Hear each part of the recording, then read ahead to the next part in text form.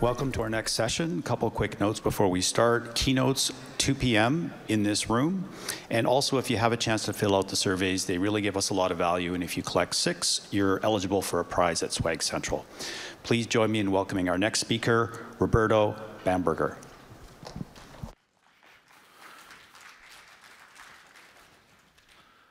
Well, thank you all for being here. Um, it's a little bit scary being in this room. It's a big room. So my name is Roberto Bamberger. I'm a senior principal consultant on the Microsoft Incident Response Team. We are the customer-facing arm of Microsoft when customers are having a bad day. Uh, what I'm going to share with you today, even though I'm the speaker, this is really the results of a whole lot of collaboration with a lot of, uh, a lot of different folks across both our Microsoft IR team and then the broader Microsoft security community. So I just want to make sure that I'm just representing what this team collaborative has done and not trying to take all the credit for it. Um, you know, the older you get, the less, the more we become reliant on people a whole lot smarter than us. So, and one of them's actually in the front over here, Thomas Volstick, and I just butchered his name. Uh, Thomas and I are presenting on a different session tomorrow, so please come by for that. So this particular CVE gained a whole lot of attention. Uh, there was a vulnerability in Microsoft Outlook, the rich Outlook Windows client, which effectively enabled threat actors to send poisoned messages which would trigger an NTLM hash leak out to threat actor controlled infrastructure with very little user action required. All the user had to do was open Outlook. They didn't have to click on a message. They didn't have to click on a link. They didn't even have to open the message. And what started off for me, you know, of gosh, it's right before Christmas. I'm ready to take some time off. It'd been a rough year. Anybody in incident response, it's always a rough year, but we hope that it'll slow down. And, you know, I get this message saying, hey, we've got kind of a weird one. Should be short, that was the other thing, but could you take a look? I said, sure. Um, so we had a we had a government customer, and even though I'm not allowed to say who the customer is, I can say that the Ukrainian CERT was credited with helping find this vulnerability. And one of their customer organizations was seeing some strange behavior in their on prem Exchange servers. And they reached out to their CERT, and their CERT said, you know, why don't we ask Microsoft? This is an Exchange server thing. We're looking at some telemetry. We don't really understand what it is, you know, what it's trying to tell us, other than we think that somebody's doing something weird where they're accessing, they log in with one account and are accessing other people's emails. Okay. I was like, hey, there's like five ways that that could happen. No problem. We'll figure this thing out. We'll be done by Christmas. So that was the initial beginning of this. How is user A authenticating but can view user B's mail? So I said, okay. And the customer and their CERT partner, Ukrainian CERT, wanted some help in interpreting the values in Exchange server logs. The good part here is the customer actually had logs, right? How many of us in incident response, you know, you show up, you roll up to a customer, and there's just no data right? There's no historic data. The logs have rolled. The threat actors deleted them, whatever. Um, here, we actually had lots of logs. We probably had too many logs, to be quite honest. Um, but so one of the first things we wanted to answer was this very technical question of how was user A authenticating but able to access these other mailboxes? And I was like, oh, well, there's really three ways in Exchange Server that you can do that application impersonation role.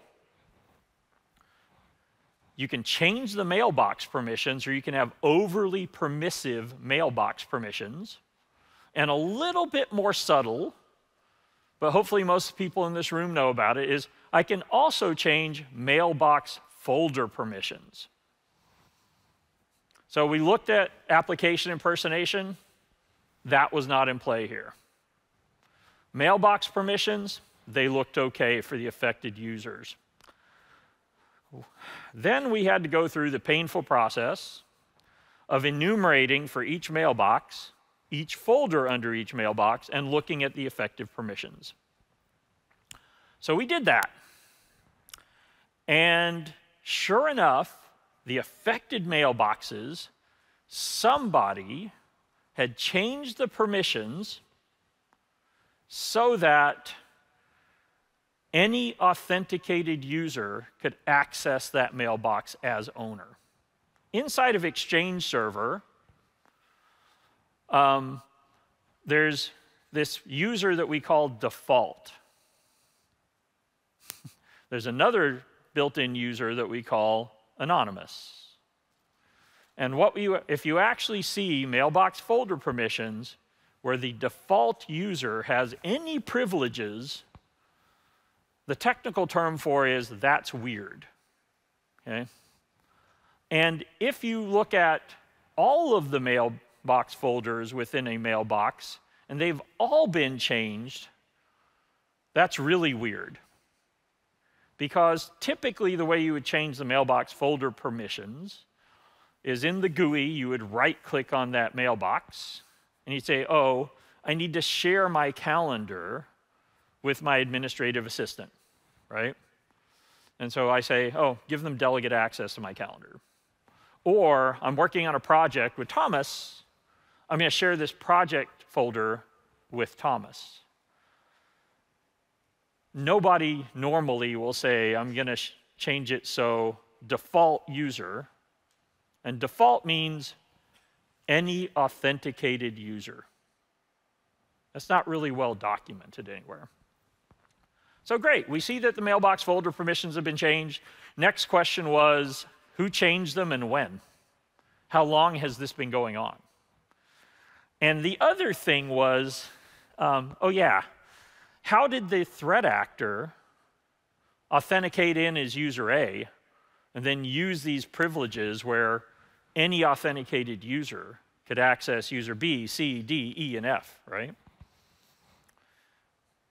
So we were a little confused by that. Some, so we wrote a custom script using the Exchange Web Services API to pull back from that Exchange server the last modification timestamp for the mailbox folder object. One of the actions you can take on a mailbox folder that will change the last modification timestamp is changing the mailbox folder permissions. There are a whole bunch of other actions, but when we looked at that, some of those mailbox folder, some of the last modified permission, mailbox, um, the last modified timestamp for the mailbox folders went all the way back to 2021. There was also a whole bunch of activity in pockets of 2022 but we believe that some, a threat actor had been in this customer's environment before as early as 2021. So there's an old saying in medical school. They say, when you hear hoofbeats, think horses, not zebras. I use this a lot when we teach our analysts, you know, how we do hunting across, you know, our Microsoft IR team. And really, what this meant in the medical school thing was that first year medical students and things like that, when they're doing their residency, when they're doing their rotations, they tend to, you know, gosh, this person's sneezing, and, you know, it must be some big exotic disease. So initially, we were thinking, hey, it's a government agency, they're in the middle of a war, they're running Exchange Server 2013, some of those boxes they're probably not patching them. So our initial thought was there's no vuln here, or there's no zero day here. I'm sure that their Exchange servers weren't patched. We got disk images of all their Exchange servers. We looked at them. Um, yeah, these guys patched within two days of us issuing a patch for Exchange Server, and they've been doing it religiously for the last two years. So then we said, well, all right, there's, you know, we've dealt with ProxyLogon, proxy shell, ProxyNotShell. A lot of these were basically server side um, request forgeries, right? Uh, vulnerabilities that were discovered back in, I believe, 2021. We're like, well, do we see anything else? Maybe there's another SSRF bug. Couldn't find anything that looked like exploitation of the Exchange server. So it's recently patched. Um, we looked for compromise indicators. There's no web shells on that box. There's no weird logins. There's nothing. The Exchange servers were behind a proxy. So they had an IIS proxy. They gave us the logs from the IIS proxy. I had one of my colleagues take those logs, parse them, and shove them into our big data platform, which is called Kusto or Azure Data Explorer. Sitting underneath Azure Data Explorer, which is the same technology which we use in the Microsoft Log Analytics product, the Microsoft Sentinel product, Advanced Hunting in Defender 365. So it's kind of our lingua franca for dealing with big data. We ingest all of this and we start looking at those proxy logs, and we see some interesting stuff. There's a brute force password spray going over Exchange ActiveSync using basic auth, um, which really does show me that one of the things that this threat actor was doing was doing password sprays. But they were kind of interesting password sprays. Um, they're using basic auth, so the encryption there isn't really strong. When you look in the IIS proxy logs, um, you just do a base 64 decode, okay, on the input. Great, I get the username password. So I see all the usernames and passwords that are coming in, and I see, well, when it's the threat actor doing it, they're enumerating through all 514 accounts with the same password. Then they change passwords, they go through all four, 514 accounts again. And they keep doing that over and over again. Eventually, they get an account, and we can also see the password patterns, right, that the users are entering, because the customer did use Exchange ActiveSync for some of their legitimate users. So the threat actor had intimate knowledge of that because they were trying variations and enumerations of, well, bad passwords. You know, something bang 2021. Then they had to change them every 90 days. So, you know, spring 2021, fall 2020, right? All those kind of variations, very simple passwords. Um, we didn't see a whole lot of successful authentication there. But then we started seeing these NTLM based authentications. And one of my coworkers said, hey, we should go crack that open. And somehow, even though Thomas wasn't assigned to this engagement, I guess he was bored. And he said, Well, okay, I'll, I'll take a look at that. That looks interesting. So he goes and looks up some articles about how to parse out this string that was getting sent to us. And he was able to write in KQL for me something which extracted out the username, the domain, and the workstation name.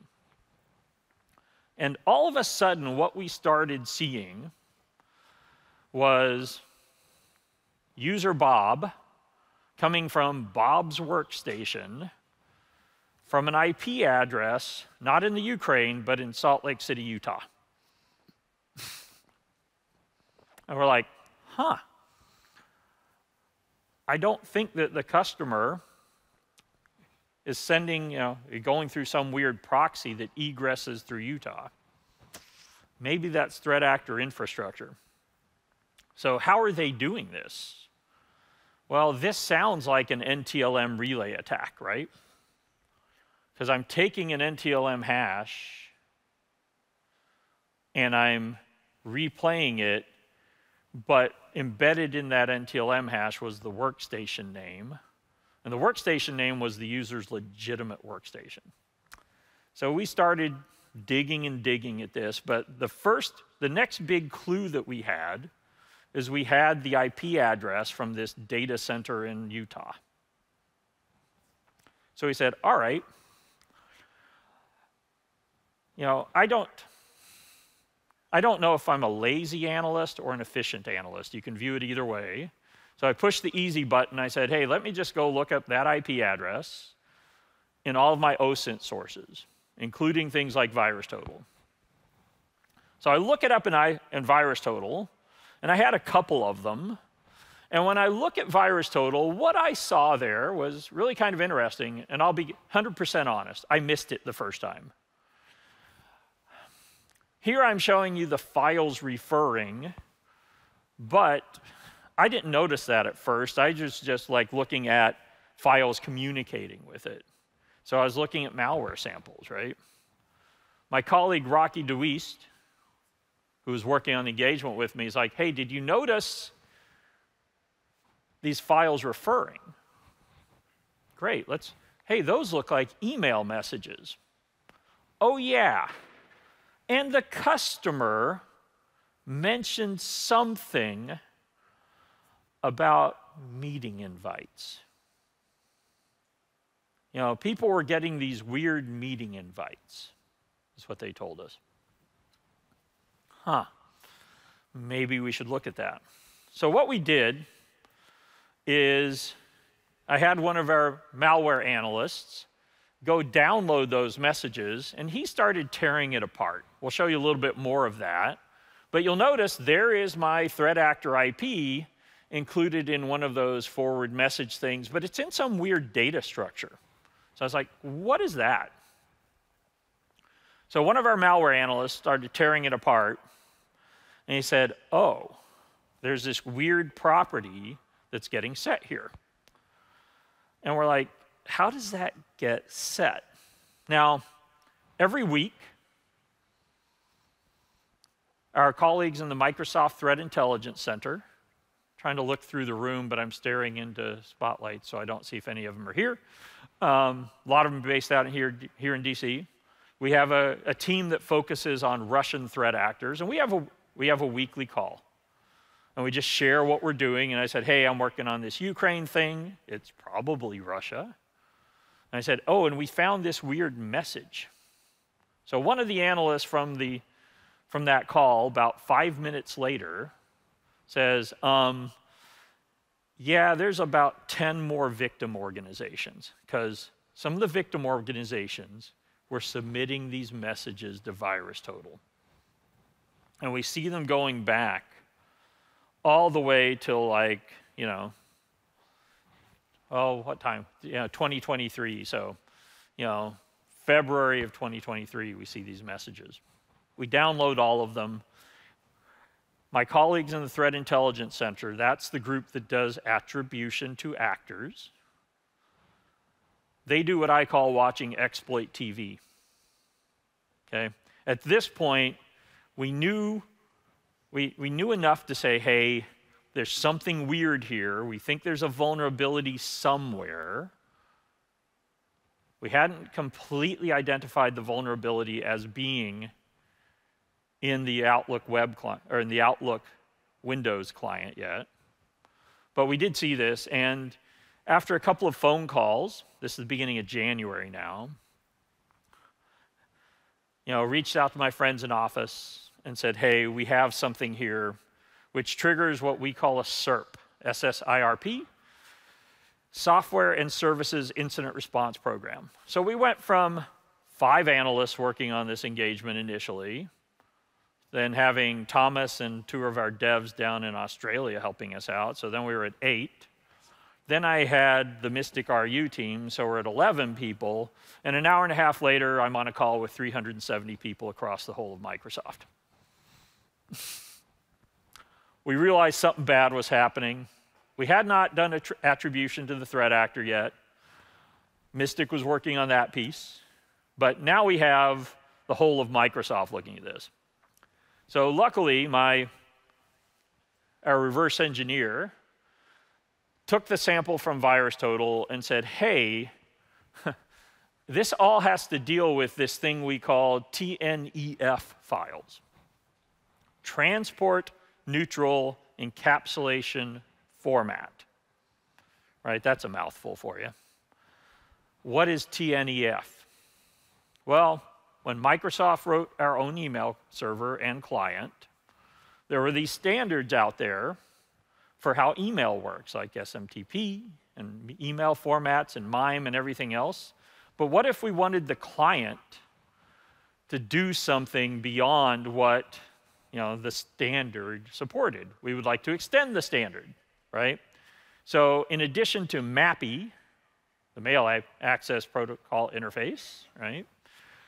Microsoft did extended MAPI properties. And when you send an email, it'll send along this attachment. The email is actually sent as plain text. But if you want to send RTF or a formatted email, right, and things like that, that's actually sent in an attachment typically called winmail.dat. That is then parsed by, and that's basically that attachment is the description of the message with all of these rich properties in transport, neutral, encapsulation format. And within the transport, neutral, encapsulation format, we found this one property that was being set, um, which is called you know, the PID lid file, remind, file reminder parameter. And we're like, well, what is that? Okay, so the threat actor was sending specially crafted messages, which in the TNEF file had this value set. What does that value do? That value allows you, as the end user, to say, hey, when it, my wife assigns me a task, I want it to make a different sound than the normal system sound. So I know that it's a task from her. So I can customize the sound that plays. This thing was intended to only be able to be set by the end user in the Outlook client. It turns out that there's no control to stop some arbitrary person from sending setting that parameter in a message they send you. Okay. And I can include a path to that file. I could have a WebDAV path. I can have, you know, an HTTP URI. I can also just have an SMB file path to a server outside of my organization, right? Just anywhere out on the internet. So, what was happening was the threat actor was sending these specially crafted messages to their target victims.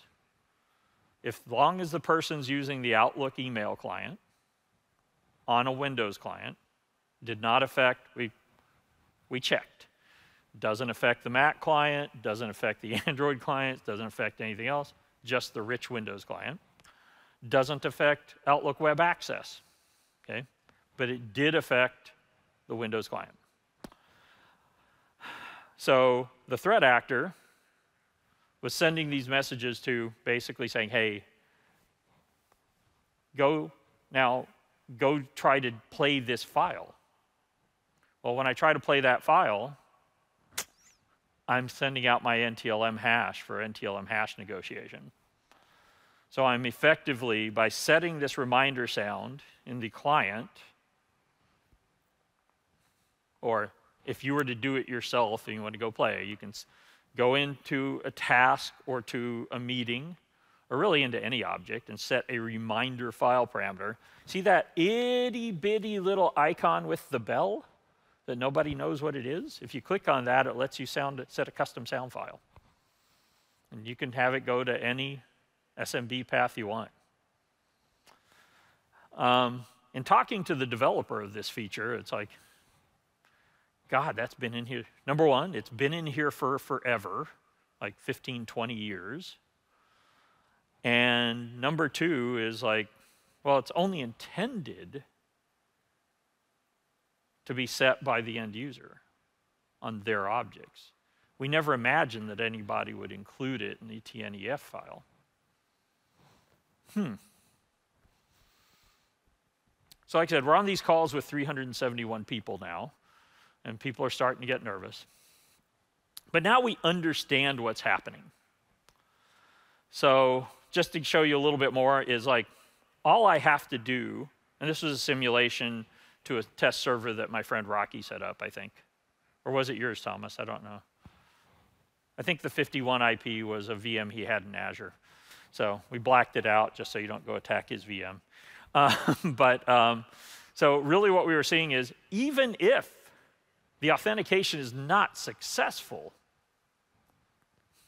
even if no file exists on that file server, you're still leaking the NTLM hash.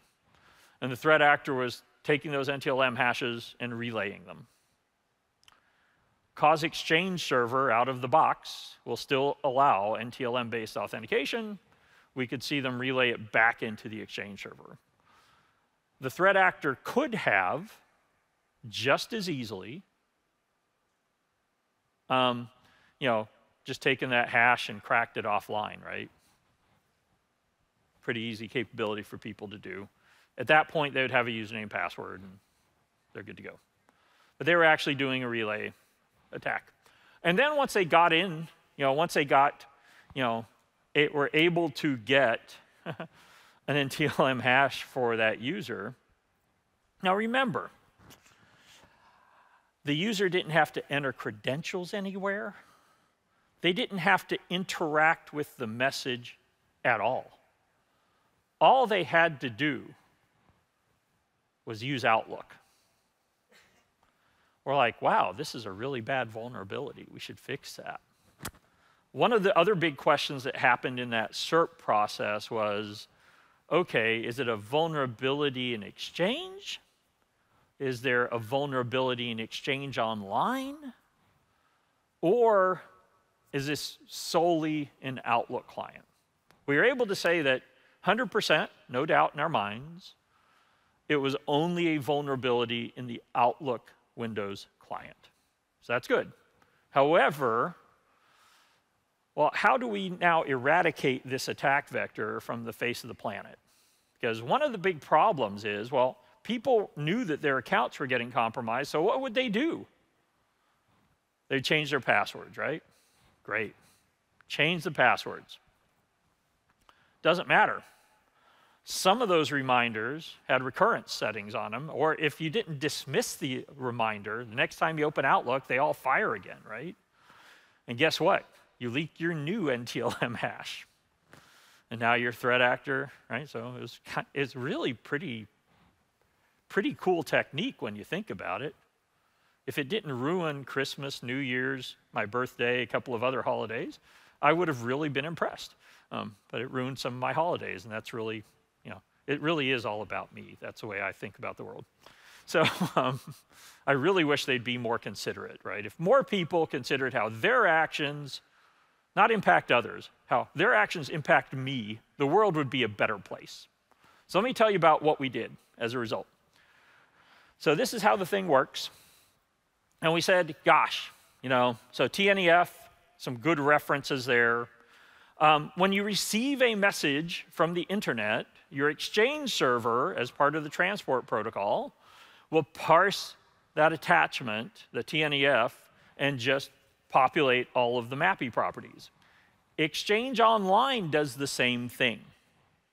So, one of the things we wanted to do as part of the fix was number one, we wanted to change it so you will no longer leak NTLM hashes even if you have a poisoned message or a poisoned object in your Exchange store. Okay? Number one, we wanted to eliminate that. The Outlook patch, which we published, did that. But the other thing was, well, okay, so it'll take people maybe some time to get rid of all those messages, right? Or to, I'm sorry, to patch all their end users' Outlook clients. You know, that's kind of hard in some organizations. Might take a week or two or a month. And because once we issue the patch, once we issue the CVE, It is trivial to exploit this. And quite literally, within about 20 minutes of us going public about this thing, there were test harnesses exploiting this thing. There's, you know, Twitter exploded on it. It was pretty cool to watch. Um, so we knew that was going to happen. So one of the first things we wanted to do was let's also change it so that Exchange Online won't, if it gets this TNEF packet, will not take that property and populate it into MAPI. So we're going to neutralize it when you receive the message. So no new messages coming in. If you patch your Outlook client, you're not going to leak hashes anymore. So we're good. So we had to do defense in depth releases on Exchange Online and on Exchange on prem. The threat actor, however, um, you know, once they got in, they would go move laterally, right? Because, hey, I, you know, from an outside account, I sent you this thing and nobody bothered. But they would actually go use it to move into other organizations. Now they have a compromised account and to move more broadly across the existing organization. So we saw that. Um, the fixes, as I alluded to. First, now, what we're going to do, we change the Outlook client that says, hey, um, there's probably some users who actually use this functionality for some real reason. Unfortunately, we have very little telemetry that tells us about end user configurations and how widely the custom sound file is actually used, but we didn't want to break people. We just wanted to break the threat actor. So, like we do through the rest of the Outlook client, um, if you were trying to access something you know, like if you have attachments or if you have URLs and things like that, we make different adjudications based on the security zone, the map URL to zone output, right? And if it's on your local network, we still let you access it, right? But if it's out on the internet, we're going to say nope. If it's not in a trusted zone, we just don't even bother trying to render that file now. So that was the fix. The API we used in Windows was map URL to zone, um, which, once again, the, the, high, you know, the, the hive mentality of security researchers started pounding on the fix, and they said, wait, um, there's some ways that you can construct these URIs so that you could theoretically still trigger an NTLM hash leak because map URL to zone says that that thing is on the intranet zone when it's actually an external URI. So we discovered, I believe, three bugs in map URL to zone and fixed those subsequently. Like I said, this thing went on a lot longer than I expected. Meanwhile, we also made the other place is hey, well, what if you're not using an Exchange server, but you're using Hotmail or something out there? It's actually the Outlook client also has a TNEF parser.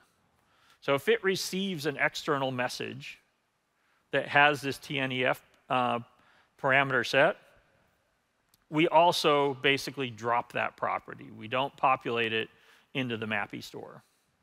So an external message that's trying to set this property, and by the way, we did go through the other 200 and I forget however many properties there are that could be part of extended MAPI and looked for anything else that could automatically trigger an, an NTLM hash leak. This was the one. Okay, so we looked for variant analysis. Um, as I mentioned, Exchange Server and Exchange Online were not actually vulnerable. However, they could be really effectively used in the kill chain. Exchange Server, you could just relay the NTLM hash back into it, and unless the customer had um, configured their Exchange Server to not allow the NTLM hash authentication. Um, very few places have actually done that. Um, then they could get back in, and we, you know, saw that activity.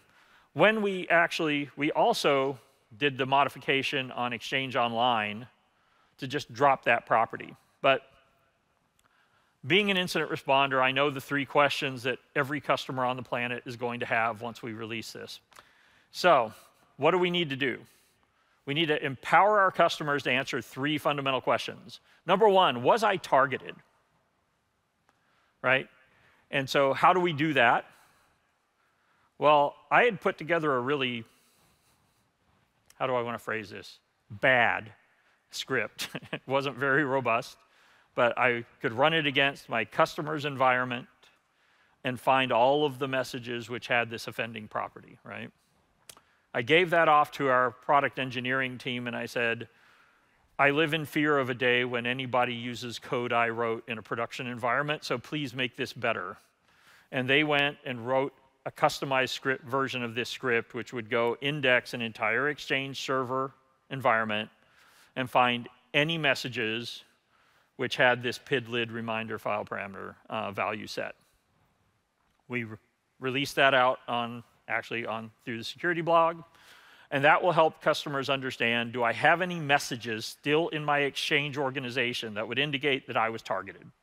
Then the next thing was, am I, was I compromised? Was it successful or not?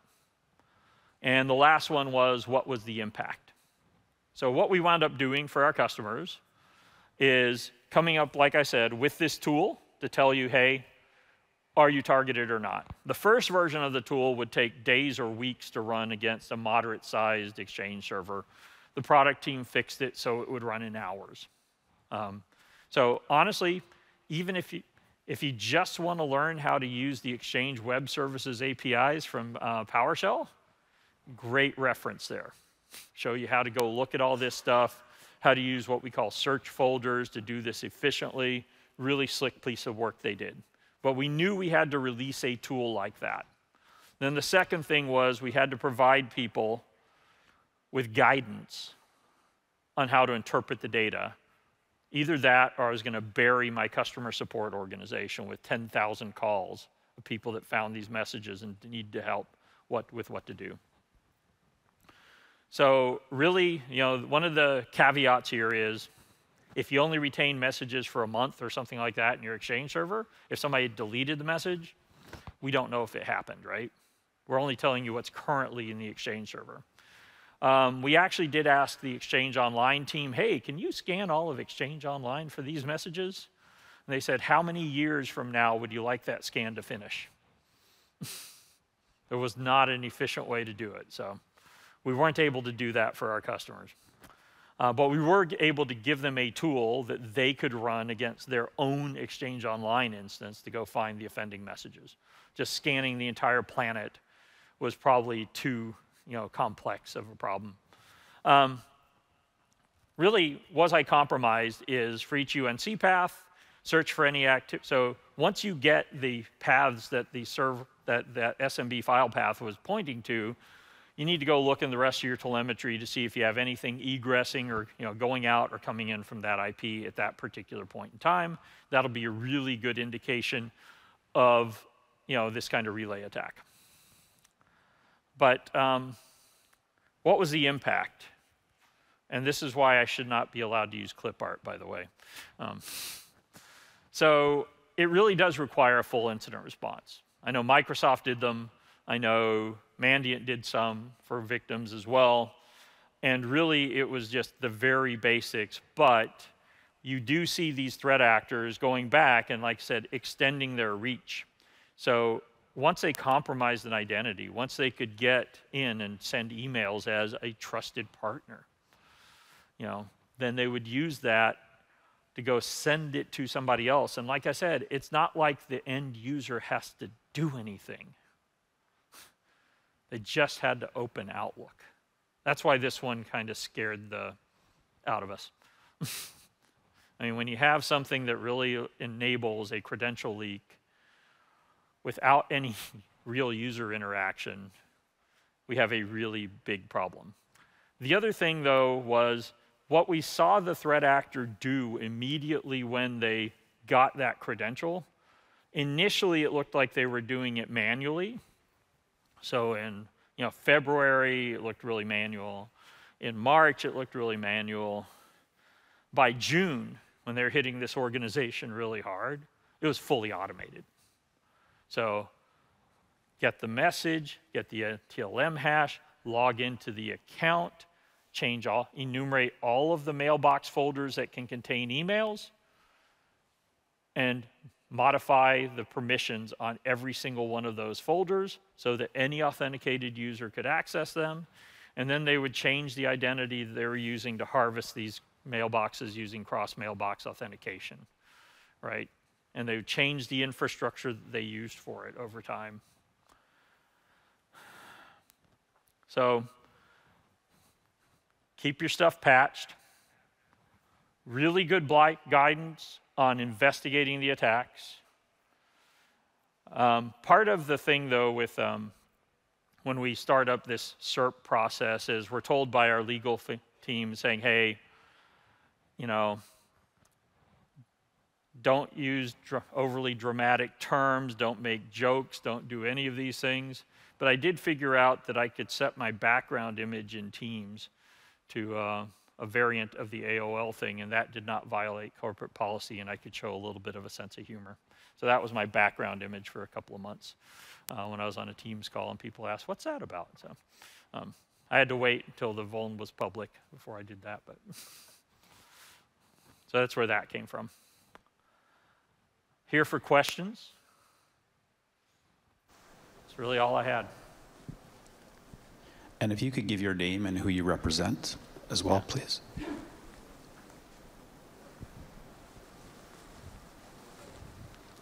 We need to get some people some exercise, so the next question needs to come from over there.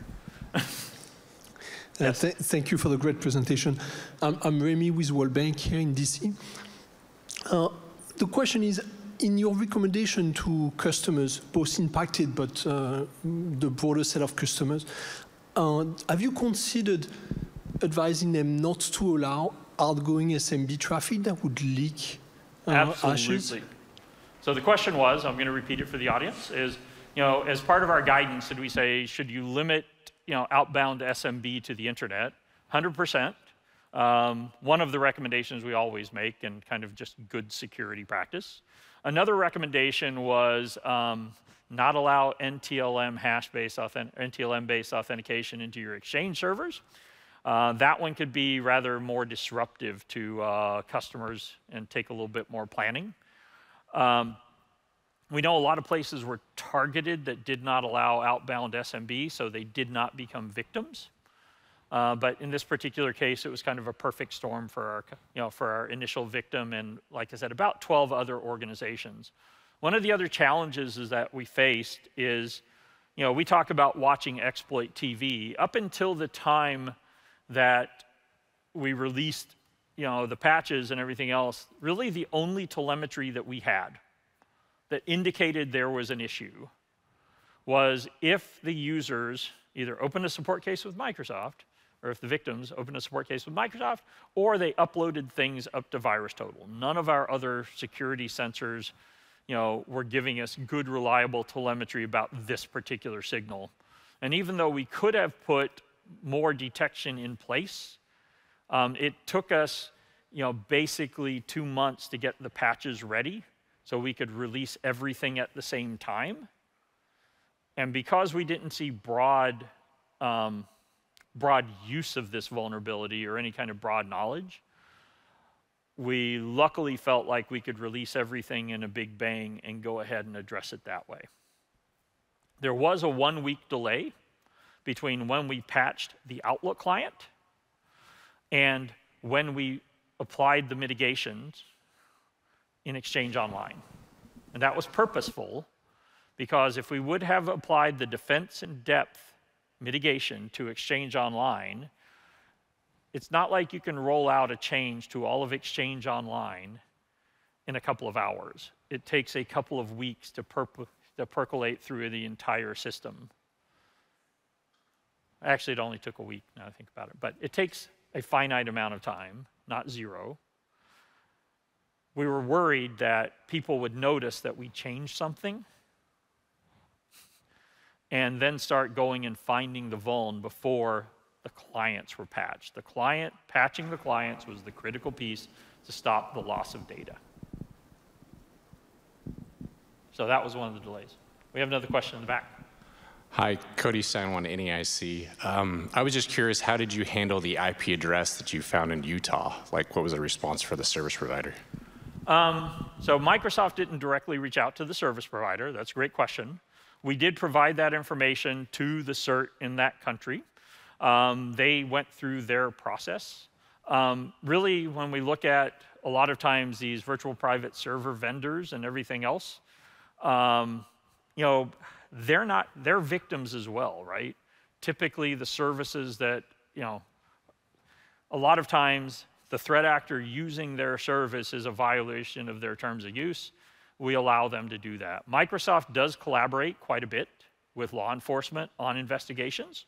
In this particular one, um, because of jurisdiction, we asked the Ukrainian CERT to take that activity, action. So I'm not privy to, were we able to get disk images? Were they able to shut it down? Were they able to get anything else?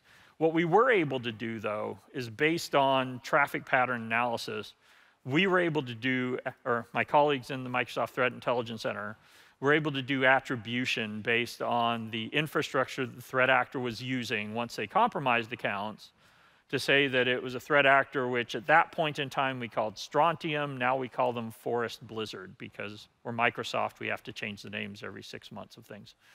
But um, basically, Russian foreign intelligence.